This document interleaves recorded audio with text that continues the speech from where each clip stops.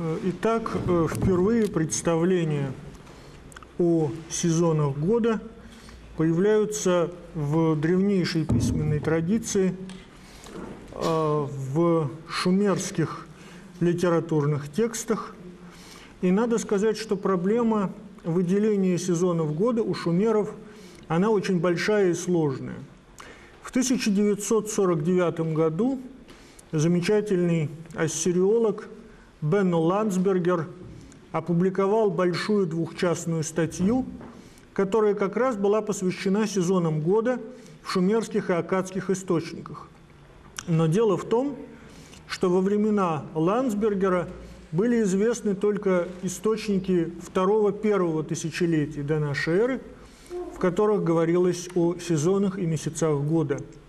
Источники третьего тысячелетия он не мог учесть, и в том числе он не мог полностью прочитать диалог, э, э, диалог зимы и весны, или зимы и лета, о котором только что говорил Вячеслав Селович, о котором буду более подробно говорить я, потому что э, этот диалог был издан в 1953 году Яном Ван Дайком э, буквально в нескольких фрагментах. Он не был в то время собран.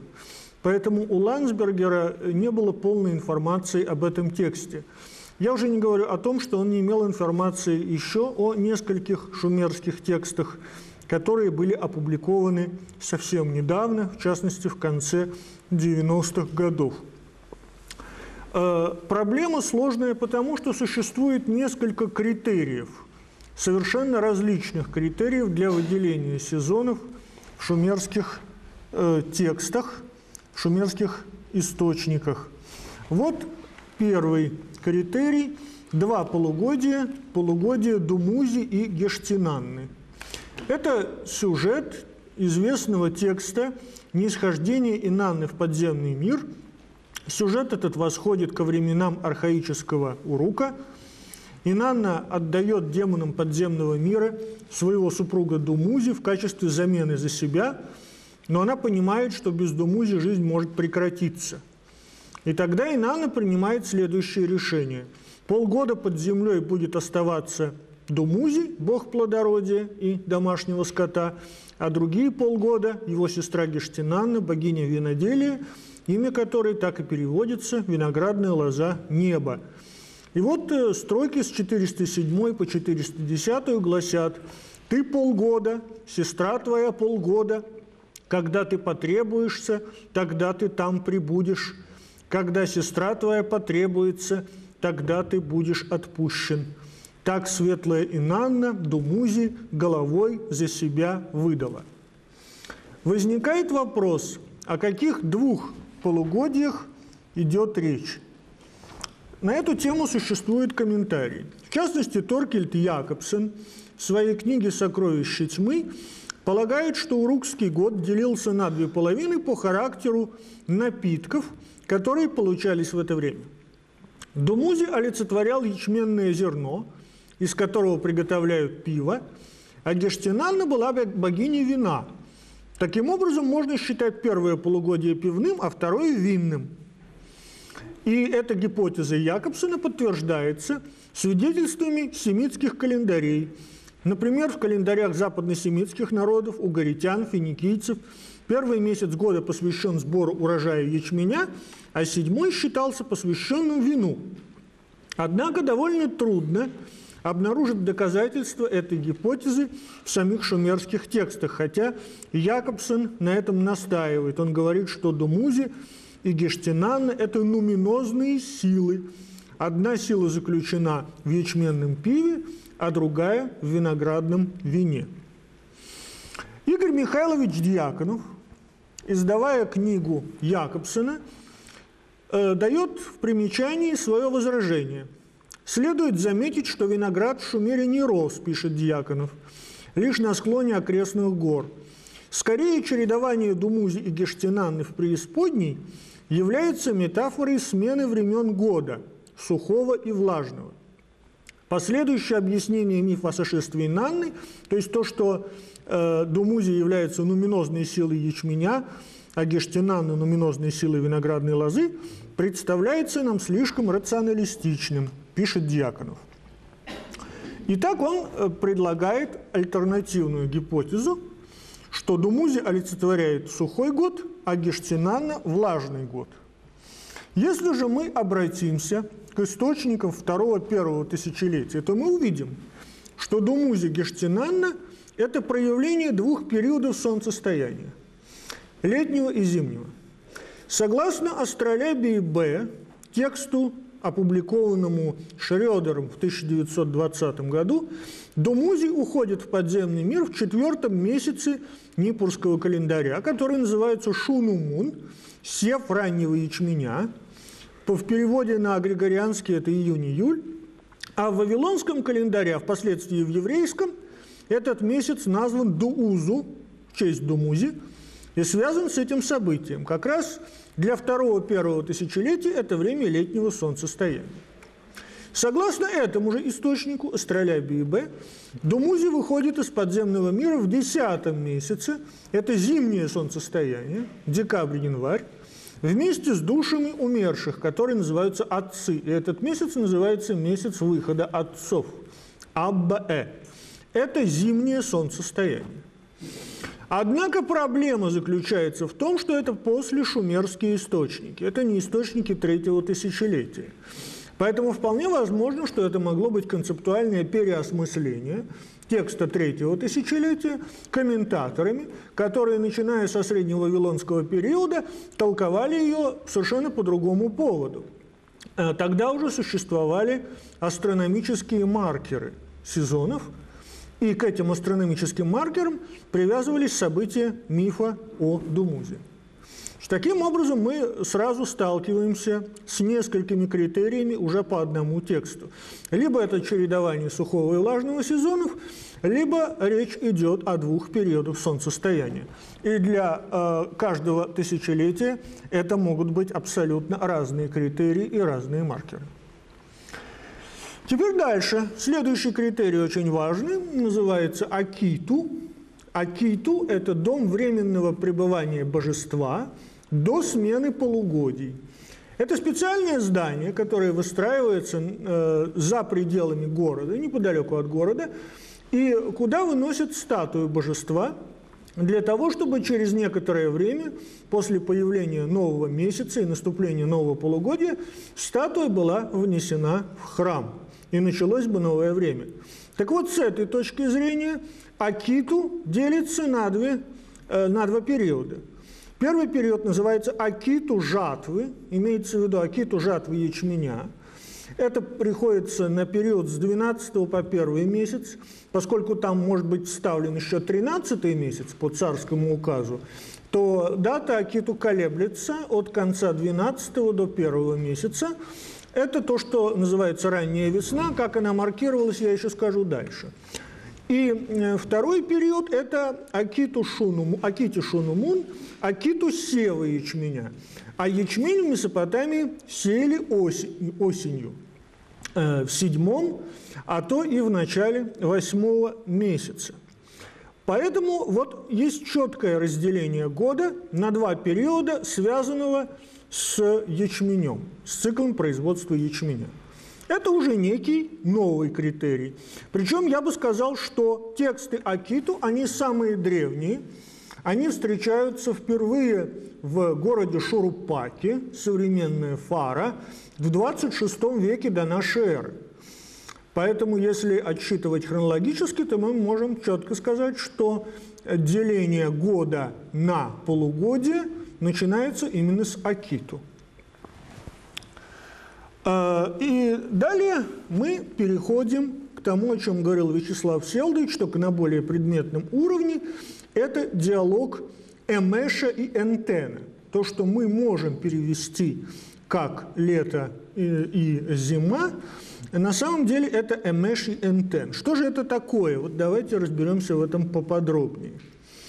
Э, Эмеш это слово, вероятнее всего, семитского происхождения, которое произведено от акадского «эмму» – «жара», «жаркий», плюс добавляется шумерский суффикс «эше» – показатель наречия. И переводится он как «жарко» – «эмеш». Отсюда, в свою очередь, в акадском языке второго тысячелетия появляется слово «умшу», которое означает «жара». Но это уже явное производное от шумерского «эмеш». Итак, значит, с точки зрения этимологии, «эмеш» – это «жара», «жарко». Теперь «энтен» – это слово с хорошо понятной этимологией. «Эн» означает «господин», «владыка», а «тен» это, с одной стороны, прохлаждение, холод, с другой стороны, это отдых. Так что можно перевести это как господин прохлаждения или как господин отдыха.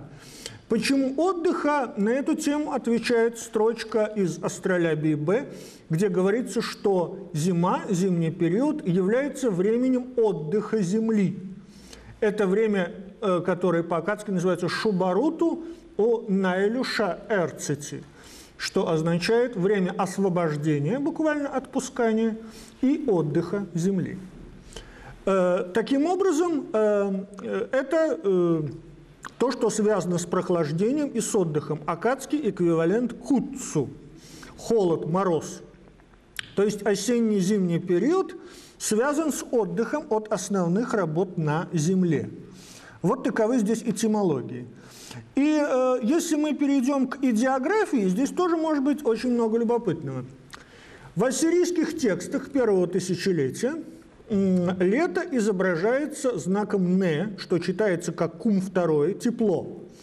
И вот в этот знак «не» вписан э, знак солнца, когда речь идет об эмеше, то есть это тепло, в которое вписано солнце, а э, энтен это тепло, в которое вписана вода.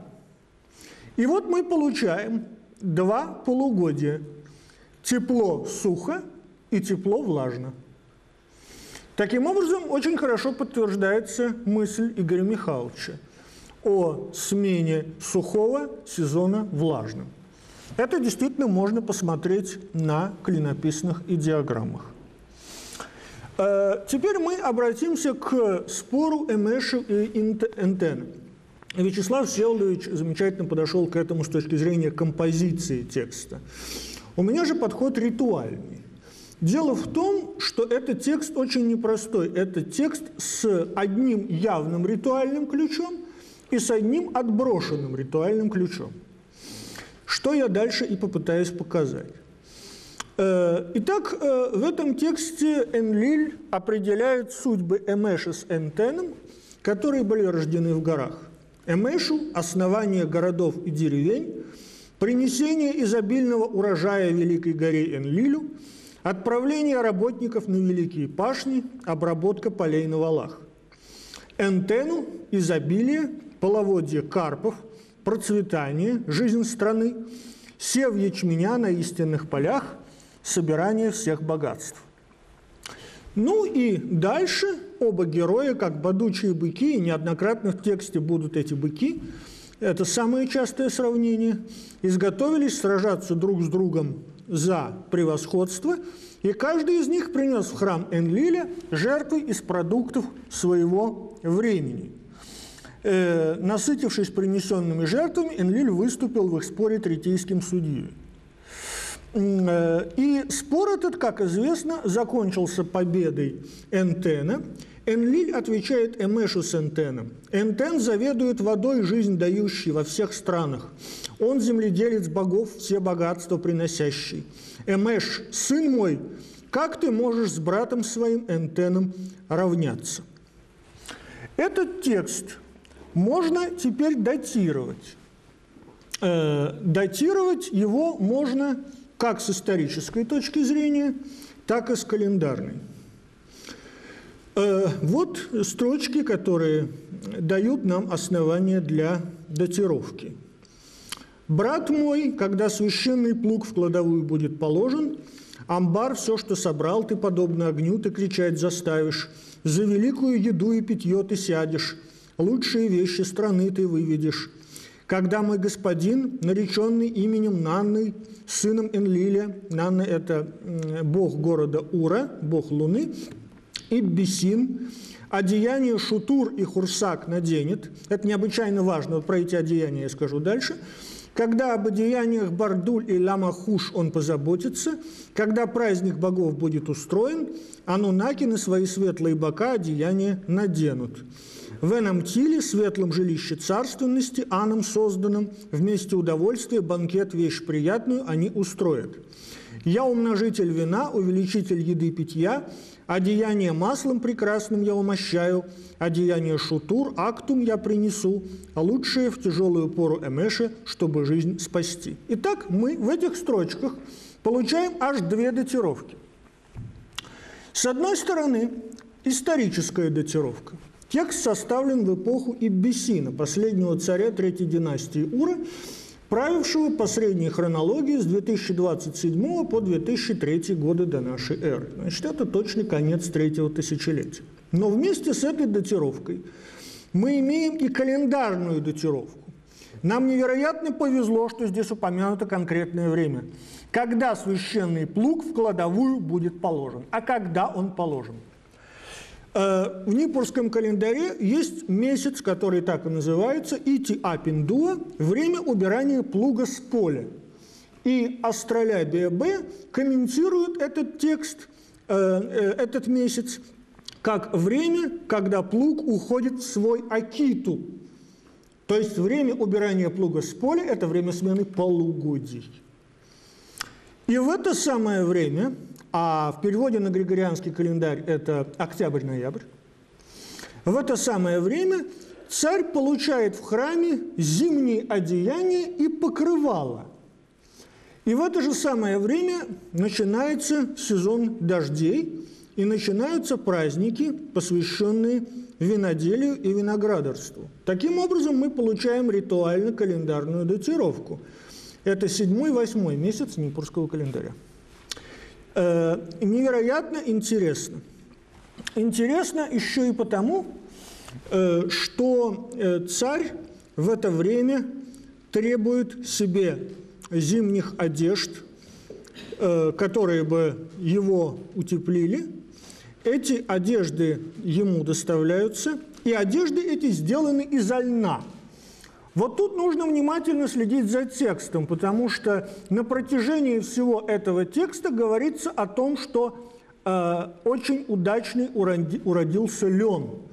Постоянно говорится о льне, даже уже в первых строчках говорится, дабы лен вырастить, ячмень увеличить, воду карпов на пристань пригнать, дабы процветанию дни продлить, э, Энлиль, Эмеша и Энтена – э, создал.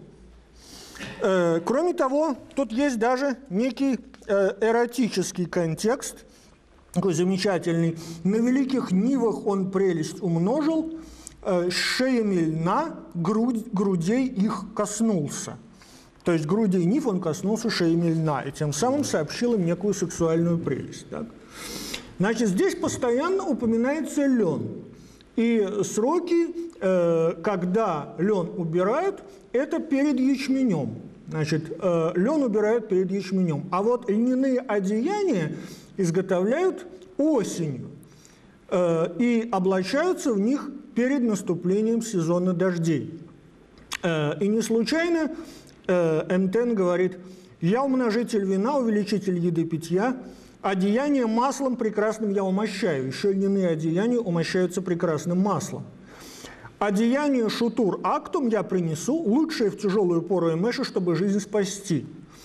Э, итак, э, это э, действительно прекрасные тонкие льняные покрывала, в которые люди оборачиваются, но не только в зимний сезон, но и в летний сезон, потому что от них исходит некое благоухание, и если в них завернуться, то, скорее всего, они спасут от летней жары, от летней засухи. Э, это некое двойное назначение этих одеяний. Так вот, получаются они как раз в осенний период. Получаются они тогда, когда плуг убирается с поля.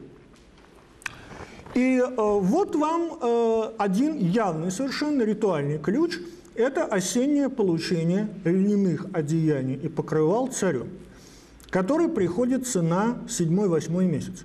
Здесь есть, кстати говоря, и очень интересное указание на то, что в это время, это время каким-то образом связано со Скорпионом, символом Скорпиона, потому что среди жертв, тут говорится, Эмеш приносит в жертву Энлилю барана, на боку которого стоит клеймо Скорпион.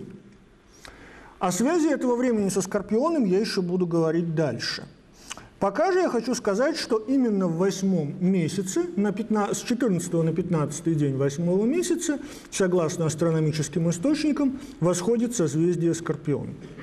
Это действительно связанные друг с другом события. А в третьем тысячелетии Скорпион был тем созвездием, который определял сроки осеннего равноденствия. Что тоже необыкновенно важно, и о равноденствии я тоже скажу чуть позже, потому что есть текст, который это подтверждает. Э, итак, что же мы видим? Мы в тексте видим, что роли распределяются как оппозиционные. Эмеш выступает как оседлый горожанин, покровитель строителей и ремесленников, и в том числе песцов. Энтен находится вне города и до города. И Эмеш упрекает его неоднократно в том, что Энтен не заботится о жилищах и храмах. При нем страдают песцы – при нем страдают э, ремесленники, и ему это совершенно неинтересно, потому что Энтен занят размножением, э, и э, в частности о нем сказано «Энтен овцу ягненком разродил, козе козленка даровал, корову теленком умножил, масло и молоко ей установил. На высокогорье сердца диких баранов, оленей он обрадовал, Птицам небесным на широкой земле гнезда устроить повелел, Рыбам лагун в тростниках откладывать яйца велел, Садовые колодцы медом и вином наполнил, Едва посаженные деревья плоды нести заставил, Огороды насадил, сходы установил, Ячмень на нивах изобильным сделал, Ашнан, богиню ячменя, подобно красивой девушке сиять заставил – урожай великий, праздник Энлиля голову к небу поднял. Э, и вот мы видим, что он обеспечивает э, то первоначальное, то необходимое, без чего невозможна жизнь. Кроме того, он обеспечивает и плодородие Тигра и Ефрата, которые несут воду весеннего половодья. Энтен с вершины лесистой горы воду карпов, процветание жизнь страны распространил – на тигр с Ефратом, великому быку подобно, стопу свою поставил, истинным полям и нивам Энлиля их даровал. Это невероятно важные строчки, которые показывают нам, что здесь есть один отброшенный ритуальный и мифологический ключ, а именно, если мы знаем текст об Энке и устройстве мира, тогда мы э, очень легко вспомним, что на самом деле этот Энтен – это никто иной, как бог Энки – который занимается в тексте ровно тем же самым. Он оплодотворяет Тигр и Ефрат, он занимается ирригацией, он э, передает всем богам э, э, э, ремесла, но делается это очень э, э важным, таким божественным способом. Энки раздает мэ, то есть магические силы, богам. Раздает он их из Абзу, то есть из водной бездны, и оттуда из Абзу появляются все предпосылки возникновения жизни. Только те боги, которые получают мы, они получают возможность для позитивной деятельности. Таким образом, Эмеш как сезон, он оказывается невозможен без Мэ-антенна. И вот вам этот богословский отброшенный ключ – который знает только тот, кто знает, так сказать, все шумерские тексты подряд. Почему выигрывает Энтен? Он выигрывает потому, что в его руках находится мы. А, мы находится только в воде, в водном мире, в Абзу. И э, хозяином этих мы, по велению небесного бога Ана, является Энки. Таким образом, Э, если мы знаем богословский подтекст, мы понимаем, что Энтен обладает Мэ, а Эмеш Мэ, то есть магическими силами, не обладает. Таким образом, эти соперники, они определяются очень просто, если это назвать, так сказать, двумя словами. Энтен э, позиционирует себя э, в качестве природы. Это природное начало. Это то, что существует до цивилизации. А Эмеш – это культура. Эмеш – это строительство городов, деревень, это покровительство ремесленникам и песцам. Э, и несмотря на то, что срок Эмеша 7 месяцев, а срок Энтена 5 месяцев, выигрывает все равно Энтен. Теперь я обращусь к тексту, о котором мало кто что знает. Он был опубликован в 1998 году э, Яном Ван Дайком «Инанна и Ан». Для нас этот текст необычайно важен, потому что э, мы здесь видим, что небесная богиня Инанна, преодолевая многочисленные препятствия, вскакивает на Скорпиона, и дальше говорится, в реке Улайи, чистой воды напившись, Инанна вскочила на Скорпиона, хвост его отрезала. Льву подобно взревел он, но крик его застыл. Она что-то бросила, что-то установила, эта строчка разбита, э, создала некий образ, э, и после этого небесный бог Ан, услышав, что произошло со Скорпионом, с досадой поляшком себя ударил, стоном наполнился его голос. «Дитя мое, что она сделала? Меня превзошла. И Нанна, что она сделала? Меня превзошла. Теперь число дня уменьшится, число ночи увеличится. С этого дня три стражи. Ночь с днем равняется. Теперь восход Уту воистину таков. Э, итак, мы здесь видим, что после того, как Инанна оседлала Скорпиона, э, происходит уменьшение числа дня, увеличение числа ночи. Э, это явный намек на то, что при восхождении созвездия Скорпион для третьего тысячелетия наступало осеннее равноденствие, после которого число дня, соответственно, уменьшалось. И если мы сопоставим этот текст с еще некоторыми заговорами, которые я приводить не буду, они опубликованы в Топоровском сборнике, то мы можем увидеть, что в заговорах Скорпион находится в оппозиции к созвездию Тельца – и объявляется быком подземного мира. Задача заклинателя заключается в том, чтобы отправить его назад. Таким образом, мы получаем еще один очень важный критерий для отделения двух полугодий. Это э, восхождение созвездия Тельца, весеннее равноденствие, восхождение созвездия Скорпиона, осеннее равноденствие. Э, и последний критерий, о котором я хочу сказать, это возможное деление года на сезоны в споре меди и серебра. Э, это тоже текст третьего тысячелетия, который принадлежит к жанру Адаман Дуга в шумерских э, архивах, школьных архивах. Так вот, медь говорит серебру, утверждая свое превосходство над ним. «Когда дни влажной земли для меня наступают, медные мотыги, срубающие сорняки ты не имеешь, и никому ты не нужен.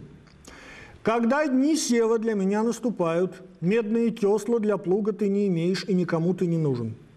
Когда зима для меня наступает, медных топоров, срубающих хворост, ты не имеешь, и никому ты не нужен. Когда дни урожая для меня наступают, медных серпов, жнущих ячмень, ты не имеешь, и никому ты не нужен. Таким образом, мы здесь видим первую попытку деления года на четыре сезона. Это дни влажной земли, дни сева, зима и дни урожая. Но я думаю, что эта первая попытка, она связана с периодами сельскохозяйственных работ. А зима является временем отдыха земли от этих работ. Подобное же происходит в Древнем Египте, Потому что когда говорят, что египетский год разделялся на время половодья, время засухи и время всходов, конечно, нельзя говорить здесь об абстрактном восприятии времен года. Скорее, это цикл активности самой Земли. Но такую попытку мы видим. Э, кроме того, нужно сказать, что в шумерских текстах выделяется весна. Она не называется каким-то определенным словом, но она выделяется двумя основными событиями. Это раннее половодье – и урожай пестрого ячменя. Раннее половодье называлось у шумеров половодье карпов. Нерест карпов начинался в конце зимы, и карпы всплывали на волнах именно в это время. А пестрый ячмень шегуну сеяли в конце зимы, в феврале или в начале марта, а урожай собирали в апреле. То есть он поспевал за 80 дней. Появление этого ячменя на полях также было одной из примет весны и начала года. Таким образом, мы можем сделать общие выводы. Вывод первый. Шумерское время, 4-3 тысячелетие, в Месопотамии существовало фиксированное деление года на полугодие. При этом календарь отчетливо различает события четырех сезонов без их названия или с их названием, но это время работающей Земли. Так? Это, значит, э, вывод первый. Мы можем сказать, что впервые разделение на полугодие появляется в городе Шурупаке. Это представление об Акиту. Ну и дальше, к концу третьего тысячелетия, уже появляются такие понятия, как Эмеш и Энтен. Э, второе. Деление на полугодие первоначально связано с циклом производства продуктов, ячмень, вино, а затем со сроками равноденствия и солнцестояний. Э, и третье, деление на сезоны связано с периодами работ на земле. Я хочу сказать, что во втором тысячелетии уже в вавилоно-ассирийской культуре появляется представление о трех сезонах. И эти три сезона определяются очень простым критерием. Это восхождение звезд, соотносимых с небесным экватором. Сезон Ана – это весна и осень, когда созвездие находится вблизи небесного экватора, это звезды Ана – э, весна и осень. Э, далее сезон Энлили – это лето, э, звезды к северу от небесного экватора. И э, звезды э, сезон бога Энки, это как раз зима, это звезды к югу от небесного экватора. Название трех сезонов мы знаем, осень не выделяется. Осень и весна – это как бы одно и то же. А вот весна, зима и лето, они, они имеют определенную терминологию в акадском языке. На этом я закончу. Спасибо.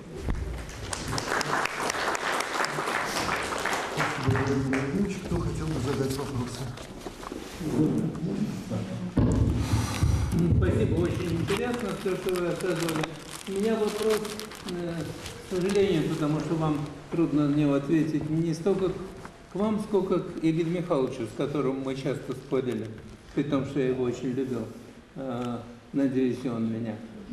Понимаете, какая проблема? Э, виноград и вино, э, по-видимому, одомашнены в той области, э, которая общая для всех нам известных семей языков, в которые, к сожалению, шумерский до сих пор никак не отнесен. Поэтому лингвистический вопрос, было или нет название шумерском для меня не стоит. Мы, мы слишком мало знаем реально шумерский язык для того, чтобы ответить на вопрос. Как вы относитесь, это вопрос уже к вам, как вы относитесь к э, идее Виттакера о возможности отражения некоторых шумерских текстах? Я задаю вопрос. Э, э, как вы относитесь к тому, что э, в некоторых самых ранних протошумерских текстах могут быть элементы индоевропейской речи, как как думает ефратский индоевропейский язык. Дело в том, что для индоевропейского, праиндоевропейского, более раннего, чем анатолийские языки, точно восстанавливается два разных корня. Один корень общий с просемитским Э, и прокартвельским вино, то, что в грузинском гвине, э, и что я нахожу в хатском, то есть северокавказском, э, винде карам сосуд с вином. То есть такое впечатление, что все-таки этот термин «вин» в значении «вино» был во всех языках этой территории, кроме шумерского, немножко странно. А другой термин – это мед, который для индоевропейского – это хетская мелит, лувийская молит и так далее, вплоть до Ирландии. Шумерская ляль. Да. Э, ну, мы знаем э, название египетское, которое тоже другое. Э, значит, э, по-видимому, все-таки утверждать, что для этого времени невозможно противопоставление вина и меда, все-таки я как лингвист не берусь. А как вы? Э, ну, здесь сразу несколько вопросов было задано, поэтому я отвечу последовательно. Да? Э, во-первых, что касается вина, мы имеем да, тоже довольно непростую ситуацию. В ранних шумерских текстах виноградная лоза называется нгештин, и таким же образом называется вино. Потом это сокращается, и мы получаем тин э, из гештин. А кроме того, э, каш, который обычно переводится как пиво, тоже может иметь эквивалент курунну – вино. Э, поэтому здесь э, ситуация непростая. Мы знаем, что вино ввозилось из Сирии в Месопотамию. Это был достаточно дорогой иностранный товар. Э, но мы также знаем, что вино употреблялось в большом количестве богатыми людьми и, разумеется, употреблялось храмами. Поэтому вот сам статус виноделия в Месопотамии, он до, до конца еще не прояснен и отношение к вину. В отличие от отношения к пиву, здесь все гораздо более темно. Это первое. Второе. Что касается Виттакера, то я, конечно, знаю все его работы, и более того, я знаком с ним самим. Мы с ним выступали на Международном конгрессе осирологов в Гарварде в 1998 году. Э, меня его гипотеза, скажем так, заставляет отнестись к ней с любопытством. Я пока не знаю, э, на чьей стороне я нахожусь, на стороне Виттакера или на стороне его всегдашнего критика Гонсалио Рубио, э, но, э, в частности, вот несколько месяцев назад я на тронских чтениях у Николая Николаевича делал доклад, и была опубликована статья по поводу прилагательного «мах», которое Виттакер сопоставляет с санскритским «маха», я нашел, что семантическое поле здесь абсолютно одно и то же. Есть несколько подтверждений, которые могут говорить в пользу этого. Это довольно интересный вопрос сам по себе, и к публикациям Виттакера я отношусь с интересом. Тем более, что Айзек Абрамович Вайман в своих неопубликованных эрмитажных докладах, которые я слышал, он уже довольно давно говорит – о, э, об индоевропейских э, основах и об индоевропейских словах в шумерском языке. Раньше это категорически не принималось, э, теперь, к сожалению, у нас никто особенно этим не интересуется, Азия Абрамович не работает, поэтому я больше обращаю внимание на то, что делает Виттакер. Я бы сказал, что я отношусь к этому с любопытством. Мне это интересно. Спасибо. Кто хотел бы еще? Да, пожалуйста. Скажите, пожалуйста, для вас несомненно деление года на 12 месяцев и солнечный э, Понятно, спасибо. Спасибо. В Месопотамии год был лунно-солнечным. Э, каждый месяц начинался с новолуния, соответственно, э, соответственно полугодие начиналось вечером. Вот, поэтому это смешанный лунно-солнечный год требовал обязательно вставки – Э, каждые 3-5 лет указом царя вставлялся 13-й дополнительный месяц, либо после первого полугодия, либо после второго полугодия. Ну, он так и назывался, либо 6 второй, либо 12 второй. Поэтому для нас, несомненно, присутствие не только 12, но и 13 месяцев в составе месопотамского календаря. Спасибо. Я думаю, что, наверное, да. Э, да, пожалуйста. Благодарить, я совершенно поражена сходством. Это же просто Каин и Авель, вот эти вот братья, то есть со всеми их функциями. Это может быть источник, так сказать, для библейского автора, ну, в какой-то передаче, не непосредственно. То есть эта традиция могла письменная перейти в какую-то устную, а потом, значит, э, соответственно, появиться вот в виде рассказа, который явно написан, довольно поздно. Ну, это просто, да, поразительно, спасибо. Угу. Да, ну я просто отвечу очень коротко, что впервые сходство этих э, шумерских диалогов с историей Каина и Авеля заметил Крамер в 1963 году. И им это было использовано как параллель к диалогам э, и спорам в древнееврейской культуре. Он считает это общерегиональным ближневосточным явлением, вот такого рода э, диалоги между двумя персонажами, один из которых выигрывает.